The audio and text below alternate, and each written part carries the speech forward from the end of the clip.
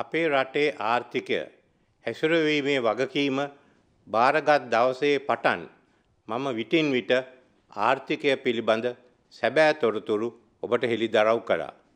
මට අවශ්‍ය වුණේ විනිවිදභාවයෙන් යුතුව ආර්ථිකය පිළිබඳ සැබෑ චිත්‍රය හැම විටම ඔබ ඉදිරියේ තැබීමටයි.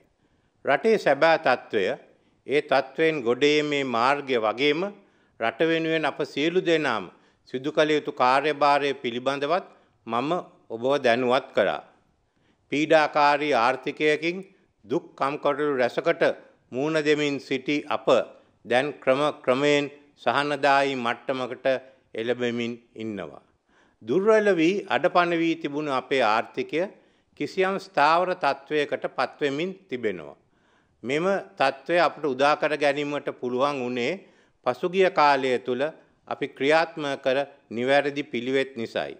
ඒ වගේම අප සැම එකටම එක්වී අභියෝගයන්ට සාර්ථකව මුහුණ දුන් නිසයි. ඒ අභියෝගයන් හමුවේ විවිධ දුෂ්කරතා විදදරාගත් නිසයි. මාත්තු භූමිය වෙනුවෙන් මේ දුෂ්කරතා විනදරාගත් ඔබ සැමටම මගේ කෘතඥතාවය පිරිනැමන්ට මම කැමතියි. තව ටික කාලයක් මේ මාර්ගයේම ඉදිරියට යෑමෙන් දුෂ්කරතා හා පීඩාවන් අවම කරගනිමින් යහපත් ආර්ථිකයක් නිර්මාණය කර ගැනීමට අපට පුළුවන්කම ලැබෙනවා. ශ්‍රී ලංකාව දැන් වර්ධනාත්මක සමෘද්ධිමත් ගමනක් යාමට සූදානම්. අපේ ගමන ඉදිරියට යායුත්තේ කෙසේද. ඒ සඳහා අප අනුගමනය කළ යුතු පිළිවෙත් මොනවාද. අද මම ඔබට පැහැදිලි කරන්නට යන්නේ ඉදිරියේදී අප අනුගමනය කරන්නට බලාපොරොත්තු වන ක්‍රියාමාර්ගයයි.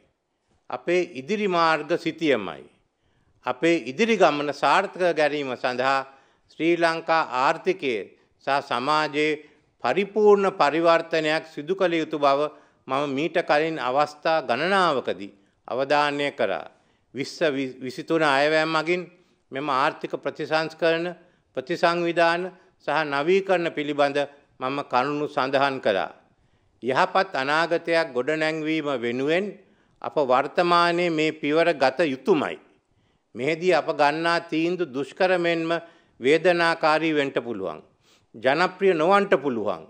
නමුත් අපේ රට යළිත් ඉහලට ඔසවා තබන්ට අපට හැකිවන්නේ මේ දුෂ්කර මාර්ගයේ නිවැරදි ප්‍රතිපත්ති අනුව ඉදිරියට ගියොත් පමණයි.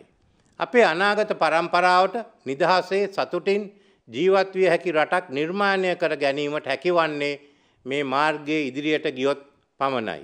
සම්ප්‍රදායික දේශපාලනය යෙදෙන සමහර කණ්ඩායම් ආර්ථික පුනර්ජීවනය වලක්වාලීමට විවිධ උත්සාහයන් ගන්නවා. ආර්ථික ප්‍රතිසංස්කරණ පිළිබඳ බොරු බියක් ජනතාව තුළ ඇති කරන්නට වෙහෙස වෙනවා. හැමදාමත් කියන රට විකුණන්ට යනවා යන සටන් පාටයෙන් තවදුරටත් ජනතාව මුලා කරන්නට උත්සාහ ගන්නවා. රටේ ආර්ථිකය නංවාලීම සඳහා ගන්නා සැම පියවරකදීම ඔවුන් ඉදිරියට දැම්මේ මේ සටන් පාටයයි. පනස් ගණන් වලදීත් රට විකුණවා කියමින් ජනතාව නොමග යව්වා. හැට ගණන් වලදීත් රට විකුණවා යයි කියමින් ජනතා මුලාවට පත් කරා. හැත්තෑ ගණන් වලදීත් රට විකුණවා යයි කියමින් ජනතාව තුළ බියක් මැව්වා. අසූ ගණන් වලදී රට විකුණනවායි කියමින් ජනතාව බීතියට පත් කරා. එදා සිට අද දක්වාම මේ කණ්ඩායම කරේ රට විකුණන සටන් පාට ඉදිරියට ගනිමින් ආර්ථික ප්‍රතිසංස්කරණ කඩාකප්පල් කිරීමට උත්සාහ දැරීමයි. මෙවැනි සටන් පාටවලින් ඔබ තවදුරටත් රැවටෙන්නේ නැති බව අප දන්නවා. අප සියලු දෙනා වෙහෙසවිය යුත්තේ කැපවිය යුත්තේ රට ඉහලට ඔසවා තැබීමටයි. විශ්ස හතලිස් සටවින්ටේ ලෝකයේ පූර්ව සංවර්ධිත රාජ්‍යයක් බවට පත්වීමේ අපේ ඉලක්කය ඉටු කර ගැනීමටයි. නවීන ලෝකයට නවීන තාක්ෂයට ගැලපෙන පරිදි අපේ ආර්ථික හැඩගස්වා ගත්තේ නැත්නම් අපට යන්ට සිදුවෙන්නේ ආපස්සටයි. එවැනි අවගමනක ප්‍රතිඵලය වෙන්නේ රට ආර්ථික යටත් විජිතයක් බවට පත්වීමයි. අප ඉදිරියට යමු. තරඟකාරී ලෝකයට මුහුණදිය හැකි අන්දමට අපේ ආර්ථික හැඩගස්වා ගනිමු. රටට අවශ්‍ය ආර්ථික ප්‍රතිසංස්කරණ ක්‍රමානුකූලව සිදු කරමින් ආර්ථික ප්‍රතිසංස්කරණ හරහා අප සිදු කරන්නේ වැරදි ප්‍රතිපත්ති දුර්වල වැඩසටහන් අසාර්ථක ව්‍යාකෘති ක්‍රමවත් මාවත්තකට ගැනීමයි. බංකොලොත් රටක් යළි ගොඩනැගීමේ පැරණි සම්ප්‍රදායක ක්‍රමවේදවලින් සිදු කළ නොහැකි. අපි අලුතින් සිතා අලුත් ගමනක් ආරම්භ කළ යුතු වෙනවා. ආර්ථික ප්‍රතිසංස්කරණ ඔස්සේ ලැබෙන ප්‍රතිඵල මොනවාද. ඔබේ ජීවන බර අඩු වෙනවා. ජීවන මට්ටම ඉහළ යනවා. එය වරදක්ද එය රට විකිනීමක්ද ඉතා කුඩා මට්ටමේ සිට මහා පරිමාණ මට්ටම දක්වා ශක්තිමත් වර්ධන සහිත ව්‍යාපාර ඇතිකරලීම සඳහා නව අවස්ථාවන් නිර්මාණය වෙනවා. එය වරදක්ද එය රට විකිනීමක්ද රටේ දිලිඳු සහ අසරණම ජනකොටස් ආරක්ෂා කරලිමින් ඔවුන්ගේ මූලික අවශ්‍යතා සපුරාලීමට අවශ්‍ය සහන හා පහසුකම් සැලසෙනවා. එය වරදක්ද එය රටවිකිනීමක්ද රාජ්‍ය මේ ව්‍යවසායෙන් රුපියල් මිලියන ගණනක් වන පාඩු පියවා ගැනීම සඳහා ජනතාවට බර පැටවීමේ සම්ප්‍රදාය අවසං වෙනවා.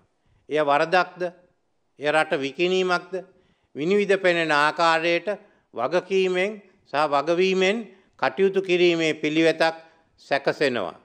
එය වරදක්ද එය රට විකිනීමක්ද ලෝකේ වඩාත්ම වේගවත් වර්ධනයක් සහිත රටක් බවට ශ්‍රී ලංකාව පත්වෙනවා. එය වරදක්ද එය රට විකිනීමක්ද තිරසර දියුණුවක් සහ සාර්ථකත්වය අපේ රටට අත්පත් කර දීම සඳහා අපි මේ ආර්ථික ප්‍රතිසංස්කරණ සිදු කරනවා. මෙම ප්‍රතිසංස්කරණ ඔස්සේ ශ්‍රී ලංකාවේ නවීකරණ වේගවත් හා අර්ථවත් කිරීමත් අපේ වෙළඳපොළ පුළුල් කර ගැනීමටත් ජාත්‍යන්ත්‍ර ප්‍රදාව සංවර්ධන ව්‍යායාමය සඳහා වැඩි වැඩියෙන් දායක කර ගැනීමටත් අවකාශ සැලසෙනවා. මේ ගමන ලෙහෙසි පහසු ගමනක් නොවන බව අප දන්නවා. බොහෝ අභියෝගයන්ට තවදුරටත් මුහුණදීමට සිදුවන බවත් අප දන්නවා.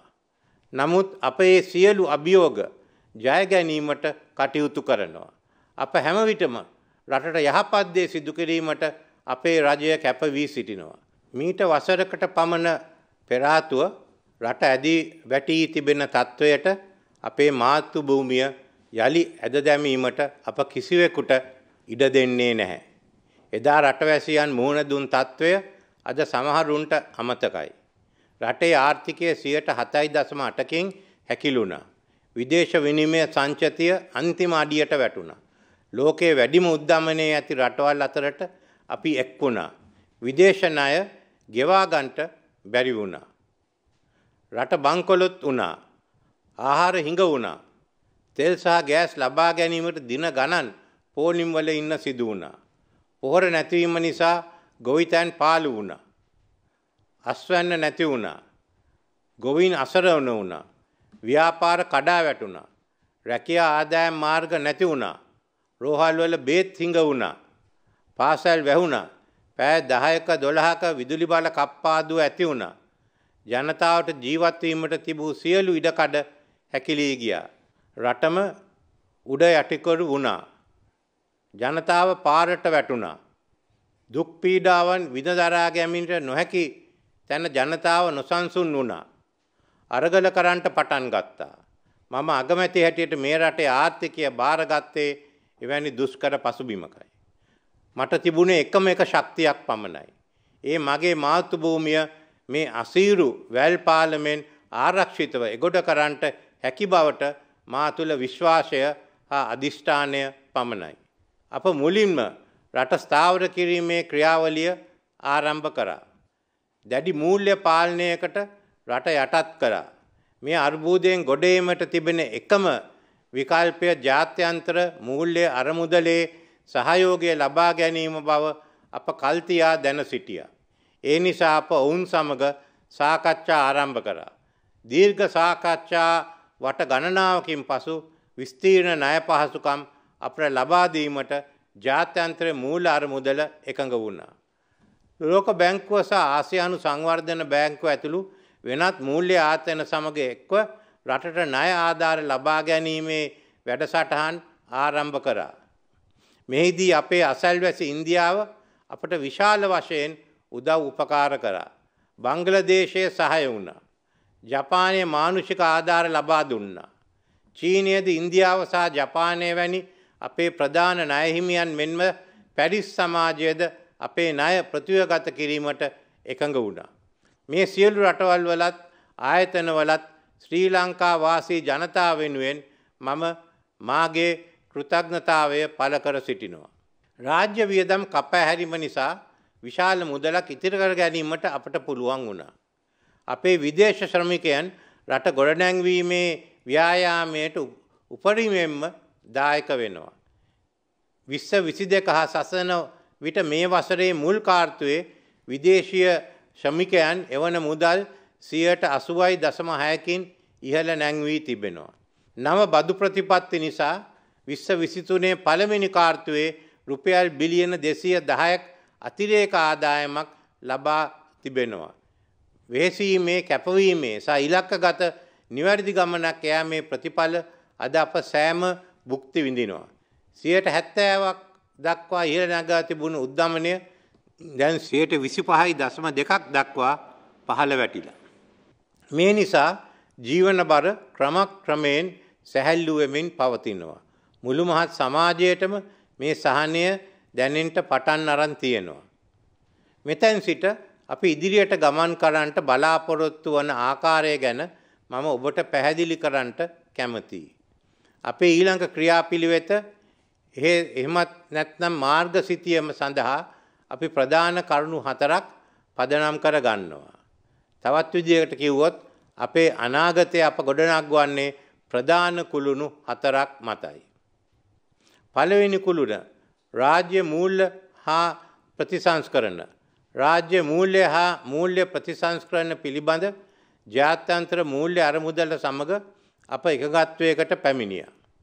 එම එකගත්වය සඳහා පාලිමේන්තුවේ අනුමතිය අප ලබා ගත්තා.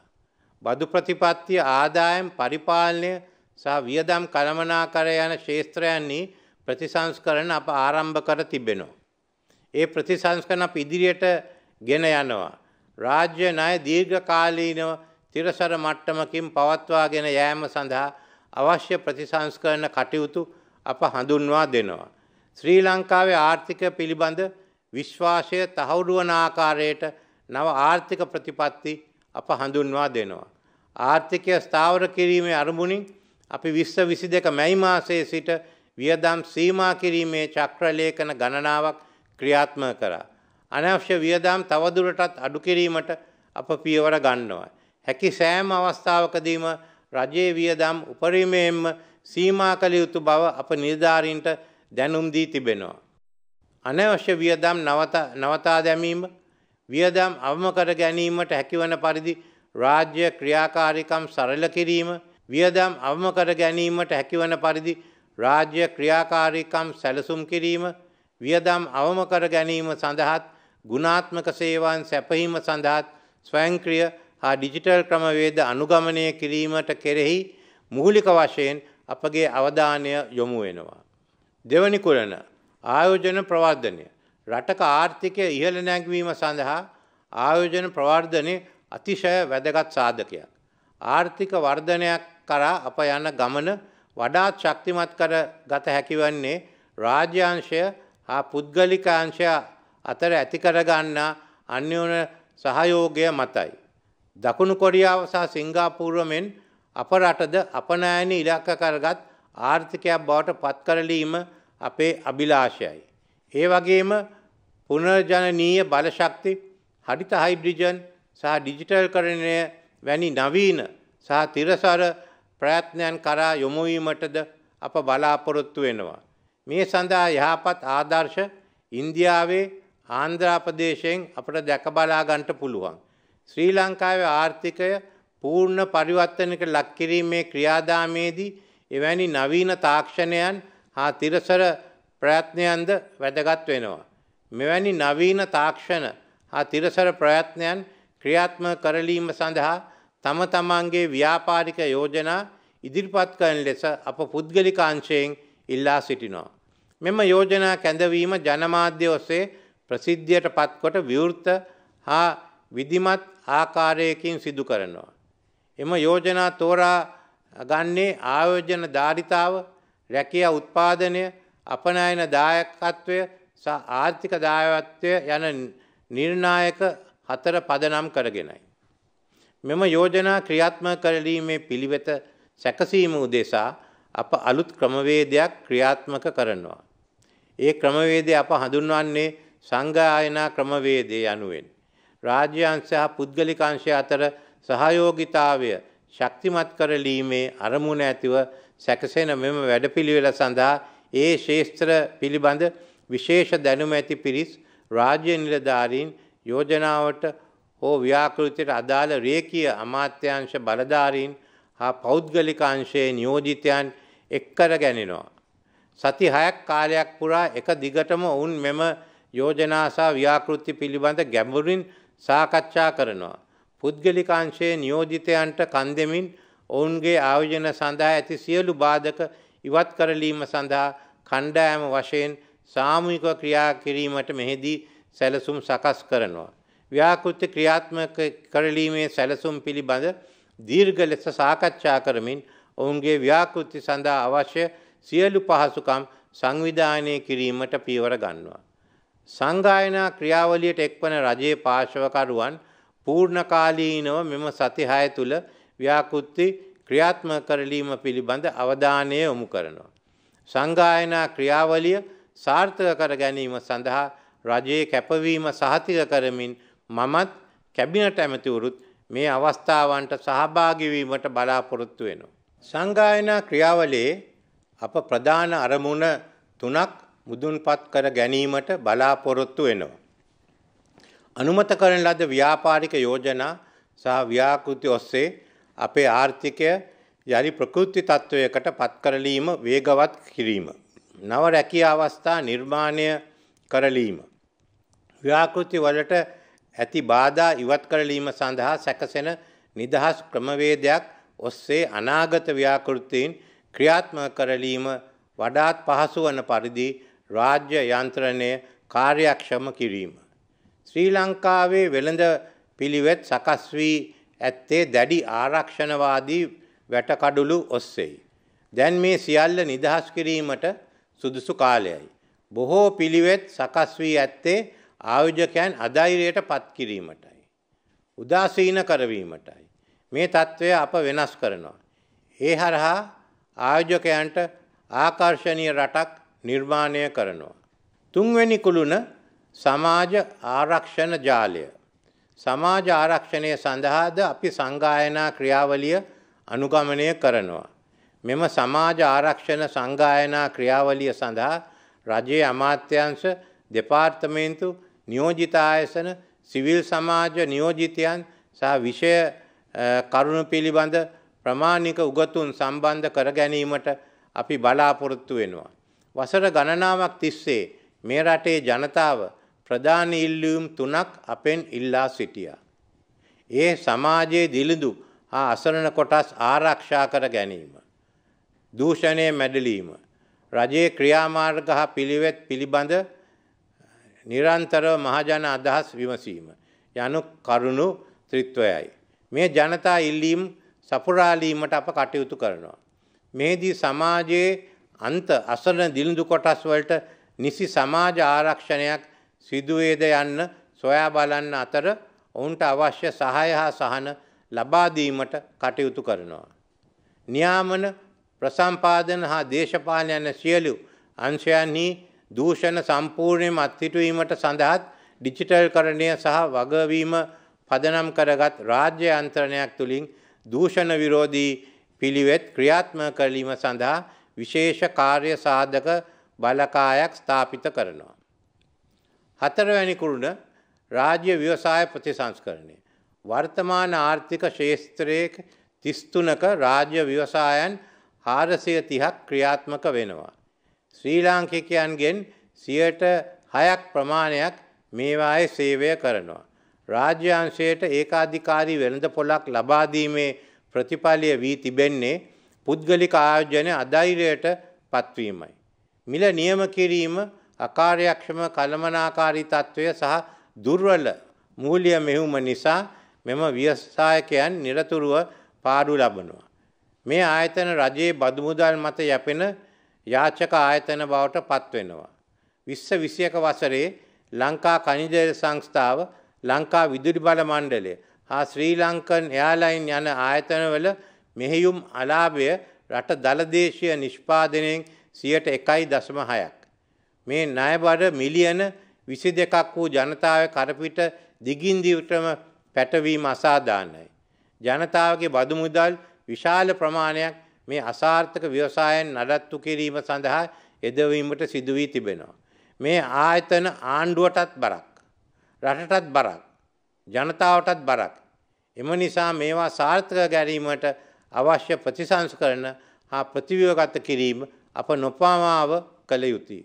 රාජ්‍ය ව්‍යවසාය ප්‍රතිව්‍යවගත කිරීමේ සැලැස්ම සකස් කිරීම අපි දැනටත් ආරම්භ කර තිබෙනවා. මෙම සැලැස්ම ඔස්සේ සාර්ථකත්වය ලබාගන්ට මෙම ව්‍යවසායන්ට හැකිවේ වයි අපි බලාපොරොත්තු වෙනවා. ඒ වගේම රාජ්‍ය ව්‍යවසායෙන්නේ ප්‍රධාන නිලධාරීන් ඔවුන්ගේ කාර්ය සාධනය වැඩිදියුණු කිරීමට කැපවී කටයුතු කරනු ඇතයි අපි අපේක්ෂා කරනවා. ඔවුන්ට ලබා දෙන වාර්ෂික ඉලක්ක සපුරාලීමට අපහසු වුණත් ඔවුන් වෙනුවට වඩාත් යෝග්‍ය පුද්ගලයින්ට එම වගකීම බාරදීමට අප පසුබට වන්නේ නෑ. මහජන දායකත්වය සංගායනා ක්‍රියාවලියට ලබා ගැනීමටද ක්‍රියා කරනවා. සති හයක කාලය තුළ සිදුකෙරුණු සාකච්ඡා විශ්ලේෂණ සහ නිගමන ඔස්සේ විවිධ ව්‍යාකෘති පිළිබඳ සකස් කෙරනු සැලසුම් නියම කරන ලද මහජන දිනයකදී ජනතාවට ප්‍රසිද්ධ කරනවා. ඒ සියලු සැලසුම් ජනතා හමුවේ තබනවා. ඒ මගින් ජනතාවට තම අදහස් හා ප්‍රතිචාර දක්වන්ට අවකාශ සලසනවා. සංගායනා ක්‍රියාවලිය ඔස්සේ සකස් කරනු සැලසුම් ක්‍රියාවට නංවන්නේ ජනතා අදහස් වලින් තවදුරටත් පෝෂණය කිරීමෙන් පසුවයි. ඒ වගේම අපේ මේ ප්‍රතිසංස්කරණ ප්‍රතිසංවිධාන වැඩපිළිවෙල පිළිබඳ සියලු තොරතුරු ජනතා හමුවට ඉදිරිපත් කරන්නට මම පියවර ගන්නවා. ජනාධිපතිවරයා සිය වාර්ෂික වතාවක් ලෙස එම කාර්ය සිදු කළ යුතු බව මම යෝජනා කරනවා. අපේ මාර්ග සිතියම ක්‍රියාවට නැංවීමේදී සමාජයේ සියලු පාර්ශ්වයන්ගේ අදහස් වලින් එය පෝෂණය කර ගැනීම වැදගත් බව අපේ පිළිගැනීමයි. සංගායනා ක්‍රියාවලියදීත් අප සිදු කරන්නේ එම ක්‍රියාවලියයි. අප බලාපොරොත්තු වන්නේ මෙම වසරේ දෙවන කාර්තු අවසන් වීමට පෙර ආතුව සංගායනා ක්‍රියාවලිය ආරම්භ කිරීමටයි. තුන්වන කාර්තුවේදී සංගායනා ක්‍රියාවලිය සහ වර්තමානයේ ආර්ථිකයට සම්බන්ධ විශේෂ කාර්ය සාධන බලකායන් විවෘත සහ විනිවිධ පෙනෙන ආකාරයෙන් ජනතාව හමුවේ තබනවා. ඒ සියල්ලෙන් අනතුරුව ජාතික ප්‍රතිසංවිධාන සැලැස්ම මෙම වසරේ අවසන් කාර්තුවේදී එළි දක්වන්ට අපි බලාපොරොත්තු වෙනවා. සැලසුම් හා පිළිවෙත් ක්‍රියාත්ම කරලීමේ ප්‍රගතිය ජනතාවට ඩිජිටල් මාධ්‍ය ඔස්සේ දැන බලා ගැනීමට අවකාශ සැලසෙනවා. ක්‍රියාත්ම කිරීමේදී ඇතිවෙන ගැටලු සහ බාධක අවධාන්‍ය කර පෙන්වීමේ ක්‍රමවේදයක්ද එහි අඩංගුයි. ඒ අනුව බාධා හා ගැටලු හඳුනා ගැනීමත් ඒවා කඩිනමින් විසඳා ගැනීමටත් අවකාශ උදා කරගන්නට පුළුවන්. මෙම සැලසුම් ක්‍රියාත්ම කිරීමේ සම්බන්ධීකරණ කටයුතු සඳහා රාජ්‍ය සහ පුද්ගලික යන දෙයංශයේම ඉහළ නිලධාරිගෙන් සමන්විත ජනාධිපති විමසුම් කාර්යංශයක් ස්ථාපිත කිරීමට පියවර ගන්නවා. රේකී අමාත්‍යයන් සමග සම්බන්ධීකරණ කාර්යයන් ඔවුන් වෙතින් සිදුවෙනවා. මේ ප්‍රතිසංස්කරණ මුළු මහත් ජනතාවටම එක ලෙස ප්‍රතිලාභ සැලසෙන වැඩපිළිවෙල. ඔබ ඇතුළු මුළු රටම මේ වැඩපිළිවෙල මගින් දියුණු වෙනවා. ඔබගේ මුළු රටේම ජනතාවගේ ජීවන තත්ත්වය මේ මගින් ඉහළ නැංවෙනවා. මෙය සමාජයේ එක් කොටසක පමණක් ඉලක්ක කරගත් වැඩපිළිවෙලක් නොවේ. මුළු රටම ඉලක්ක කරගත් වැඩසටහනක්. තරුණ තරුණියන්ගේ ශ්‍රම සහභාගීත්වය ඉහළ නැංවීමේ අවස්ථා ඇති කරලීම ඔස්සේ ශ්‍රී ලංකාවේ අපනයනය සඳහා ජාත්‍යන්තර තරඟකාරීත්වය ඉහළ නැංවීමටත් අප රටේ මානව ප්‍රාග්ධන සංවර්ධනයේ මුල් පුළුල් කිරීමක් හැකියාවක් ලැබෙන්නේ එවිටයි. ඉදිරි අවුරුදු පහ තුළ අපි ආර්ථික පූර්ණ වශයෙන් ස්ථාවර කරනවා. ඊළඟ අවුරුදු 25 තුළ ඉහළ ආදායම් ලබන දියුණු රටක් බවට පත්වෙනවා. ඒ තමයි අපේ අරමුණ. මුල් අවුරුදු පහෙන් පසු රට නගා සිටීමේ වැඩපිළිවෙල බාර වෙන්නේ ඊළඟ පරම්පරාවටයි. අප ඒ සඳහා තරුණ තරුණියන් සූදානම් කරනවා. පෙළගස්වනවා. එනම් අභියෝගයන්ට මූුණ දෙමින් විශ්ස හතලි සට වෙද්දී අපේ මාර්ථභූමිය පූර්ණ සංවර්ධන රටක් බවට පත්කිරීමට තරුණ තරුවයන් උර දෙන බව මට විශ්වාස. රටේ වගකීම භාරගෙන ඒ ඉලක්ක ළඟා කරගන්නා බව මට විශ්වාසයි. මේ වැඩපිළිවෙල ඔබ අප සැමගේම අනාගතය ගොඩනක්වන්න වැඩපිළිවෙතයි. අපේ අනාගත පරම්පරාවේ අනාගතය යහපත් කරන වැඩපිළිවෙතයි. ඒ නිසා මෙම වැඩපිළිවෙල සාර්ථක ගැරීමට උපරිම දායකත්වය ලබා දෙන මෙන් මම ඔබ සැමගෙන්ම ඉල්ලා සිටිනවා. විස්ස හතලිසට සංවර්ධිත රටක්. එයයි අපේ ඉලක්කය. අපේ අරගලය මේ ඉලක්කයට ළඟාවීමයි. අපි එකට එක්ව අපේ අනාගතය ගොඩනංවමු. යහපත් හෙට දවසක් නිර්මාණය කරගනිමු. ඒ කාරයට එක්වන ඔබ සැමටම ස්තුතියි.